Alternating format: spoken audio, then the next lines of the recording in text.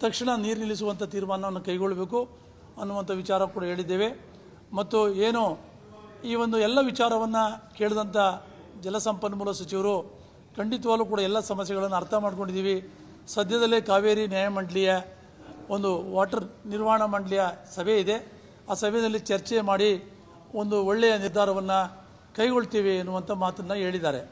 ಯಾಕೆ ಅಂತ ಹೇಳಿದ್ರೆ, ಇವತ್ತು ರಾಜ್ಯ ಸರ್ಕಾರ ಪದೇ ಪದೇ ನೀರನ್ನ ಆದೇಶವನ್ನು ಪಾಲನೆ ಮಾಡಿ ನೀರು ಬಿಡ್ತೀವಿ ಅಂತ ಹೇಳ್ತಾ ಇದೆ. ಕೇಂದ್ರ ಸರ್ಕಾರ ನೀವು ಯಾವುದೂ ಕೂಡ ಮಾತಾಡ್ತಾ ಇಲ್ಲ. ಇದು ನಮ್ಮ ಜನರಿಗೆ ಸಂಕಷ್ಟ ಉಂಟು ಮಾಡಿದೆ ಅಂತಕ್ಕಂಥ ವಿಚಾರ ಹೇಳಿದ್ದೀವಿ. ಕಳೆದ ವರ್ಷ ನಾನ್ನೂರ ಎಂಬತ್ತಕ್ಕೂ ಹೆಚ್ಚು ಟಿ ಎಂ ಸಿ ನೀರನ್ನು ನಾವು ಮಳೆ ಬಂದಾಗ, ನೀರನ್ನು ಬಿಟ್ಟಾಗ ಸಮುದ್ರಕ್ಕೆ ಸೇರಿಸಿದ್ದಾರೆ. ಆ ನೀರನ್ನು ಸ್ಟಾಕ್ ಮಾಡ್ಕೊಳ್ಳಿಕ್ಕೆ ಅರವತ್ತೈದು ಟಿ ಎಂ ಸಿ ನೀರನ್ನು ಸಂಗ್ರಹ ಮಾಡಿದರೆ, ಮೇಕೆದಾಟು ಜಲಾಶಯ ಆಗಿದ್ದರೆ ಇವತ್ತು ಈ ಸಮಸ್ಯೆ ಬರ್ತಾ ಇರಲಿಲ್ಲ ಅನ್ನುವಂಥ ವಿಚಾರನ ಕೂಡ ಅವ್ರ ಗಮನಕ್ಕೆ ತಂದಿದ್ದೀವಿ. ಎಲ್ಲವನ್ನು ಕೂಡ ಗಂಭೀರವಾಗಿ ಪರಿಗಣಿಸಿ ಒಂದು ಒಳ್ಳೆಯ ನಿರ್ಧಾರ ಮಾಡ್ತೀವಿ. ಆಶಾಭಾವನೆಯನ್ನು ಹೊಂದುವಂಥ ವಿಚಾರವನ್ನು ಹೇಳಿದ್ದಾರೆ. ನಾವು ಕೂಡ ಎರಡು ಮೂರು ದಿವಸದಲ್ಲಿ ಕಾವೇರಿ ನೀರು ನಿರ್ವಹಣಾ ಮಂಡಳಿ ಸಭೆ ಆಗ್ತಕ್ಕಂಥ ಬೆಳವಣಿಗೆಗಳನ್ನ ಕಾದು ನೋಡ್ತೀವಿ ಎನ್ನುವಂಥ ಮಾತನ್ನು ಕೂಡ ಹೇಳಿದ್ದೇವೆ. ಇದು ಇವತ್ತು ಏನು ಶೇಖಾವತ್ ಅವರು ನಮ್ಮ ಕರ್ನಾಟಕದಲ್ಲಿ ಆದಂಥ ಎರಡು ಬಂದು, ಜನಸಾಮಾನ್ಯರ ಬಂದ್ ಮಾಡಿರ್ತಕ್ಕಂಥದ್ದು ಮತ್ತು ಕರ್ನಾಟಕದಲ್ಲಿರ್ತಕ್ಕಂಥ ಹೋರಾಟಗಳು ಎಲ್ಲವನ್ನ ಕೂಡ ಅವರ ಗಮನಕ್ಕೆ ತಂದಿದ್ದೇವೆ. ಅವರು ಕೂಡ ಎಲ್ಲವನ್ನ ಆಲಿಸಿ ಭಾಳ ಒಂದು ಒಳ್ಳೆಯ ಅಭಿಪ್ರಾಯವನ್ನು ವ್ಯಕ್ತಪಡಿಸಿದ್ದಾರೆ. ನಾವು ನಮ್ಮ ನಿಯೋಗದಿಂದ ಬಂದದ್ದು ಒಂದು ಒಳ್ಳೆಯ ಬೆಳವಣಿಗೆ ಆಗಲಿಕ್ಕೆ ಸಾಧಾರಣ ಸಾಧ್ಯವಾಗಿದೆ ಅಂತಕ್ಕಂಥ ವಿಚಾರವನ್ನು ಹೇಳ್ತಾ, ನಾವು ಮುಂದೆ ನಾಳೆ, ಇವತ್ತು ನಾಳೆ ಕಾವೇರಿ ಪ್ರಾಧಿಕಾರ ಮತ್ತು ನೀರು ನಿರ್ವಹಣಾ ಮಂಡಳಿಯ ಮುಖ್ಯಸ್ಥರನ್ನು ಕೂಡ ಭೇಟಿ ಮಾಡಲಿಕ್ಕೆ ಚಿಂತನೆ ಮಾಡಿದ್ದೀವಿ ಅನ್ನುವಂಥ ಮಾತನ್ನು ಹೇಳಲಿಕ್ಕೆ ಬಯಸ್ತೇನೆ. ಮುಖ್ಯಮಂತ್ರಿಗಳೇ ಖುದ್ದು ಭೇಟಿ ಮಾಡಿದ್ರು. ಐದು ಸಾವಿರ ಕ್ಯೂಸೆಕ್ ಐದ್ ಸಾವಿರ ಮೂರ್ ಸಾವಿರ ಸಿಎಂ ಭೇಟಿ ಮಾಡಿದ್ಮೇಲೆ ಪ್ರಾಧಿಕಾರ ತನ್ನ ಆದೇಶದಲ್ಲಿ ಯಾವುದೇ ಬದಲಾವಣೆ ತಂದಿರಲಿಲ್ಲ. ನಿಮ್ಮ ಪ್ರಯತ್ನದಿಂದ ಸಕ್ಸಸ್ ಆಗ್ಬೋದು ಅಥವಾ ಅಲ್ಲ, ನಮಗೆ ಸ್ವಲ್ಪ ಆಶಾಭಾವನೆ ಇದೆ. ಯಾಕೆ ಅಂದರೆ ನಮ್ಮ ಪ್ರಯತ್ನಕ್ಕೆ ನೂರಕ್ಕೆ ನೂರರಷ್ಟು ಆಗ್ತದೆ ಅನ್ನುವಂಥ ವಿಶ್ವಾಸ ಕೂಡ ಇದೆ.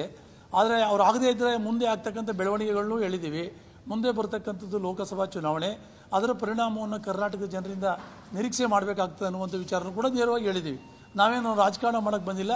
ನಮ್ಮ ರೈತರನ್ನ ಉಳಿಸಬೇಕು, ರೈತರನ್ನ ಕಾಪಾಡಿ ಆತ್ಮಹತ್ಯೆ ಮಾಡ್ಕೋತಾ ಇದ್ದಾರೆ ಅನ್ನುವಂಥ ವಿಚಾರವನ್ನು ಸ್ಪಷ್ಟವಾಗಿ ಮಂತ್ರಿಗಳ ಗಮನಕ್ಕೆ ತಂದಿದ್ದೀವಿ. ಸ್ವಲ್ಪ ಹೇಳಿ ಅದೇ ನಾವು ಈಗ ಎರಡು ಮೂರು ದಿವಸದಲ್ಲಿ ಸಭೆ ಇದೆ. ಆ ಸಭೆಯಲ್ಲಿ ಒಂದು ಸಂಬಂಧಪಟ್ಟಂಥವರು ಇದ್ರಿಗೆ ಒಳ್ಳೆಯ ನಿರ್ಧಾರ ತಗೊಳ್ತಾರೆ ಅಂತ ಮಾತನ್ನು ಹೇಳಿದ್ದಾರೆ. ಜೊತೆಗೆ ನೀವು ಅಂಥ ಸಮಸ್ಯೆ ಬಂದಾರೆ ನಿಮ್ಮ ತಜ್ಞರ ತಂಡವನ್ನು ಕಳಿಸಿ. ನಮ್ಮ ರಾಜ್ಯದಲ್ಲಿ ಹಾಕಿರ್ತಕ್ಕಂಥ ಭೀಕರವಾದ ನೀರಿನ ಸಮಸ್ಯೆಯನ್ನು ಅರ್ಥ ಮಾಡ್ಕೊಳ್ಳಿ. ಸುಮ್ಮನೆ ಏಕಾಏಕಿ ಆದೇಶ ಕೊಡ್ತಕ್ಕಂಥದ್ದು ನಮ್ಮ ಮೇಲೆ ಗದಪ್ರಹಾರ ಮಾಡ್ತಕ್ಕಂಥದ್ದು ಒಳ್ಳೆಯ ಬೆಳವಣಿಗೆ ಇಲ್ಲ ಅನ್ನೋ ಮಾತನ್ನು ಕೂಡ ಹೇಳಿದ್ದೀವಿ.